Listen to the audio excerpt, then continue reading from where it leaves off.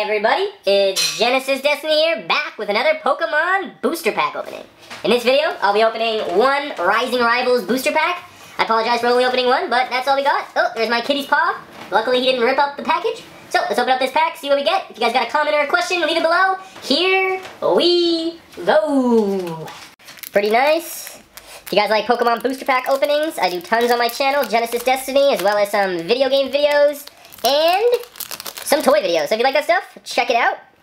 I'm really hoping to get the flying or surfing Pikachu in this set.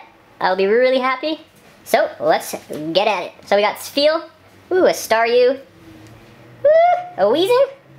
Lots of nice Pokemon in this set. Ooh, a reverse holo. And is it going to be the flying Pikachu?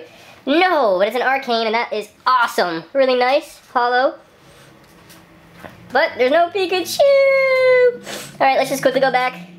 Show you guys where I got again. So really nice, oops, sorry about that. Really nice cards. But no Pikachu, sadly to say. Let me know what you guys think below. Thanks for watching. Have a great day. Genesis Destiny, signing out. Thanks.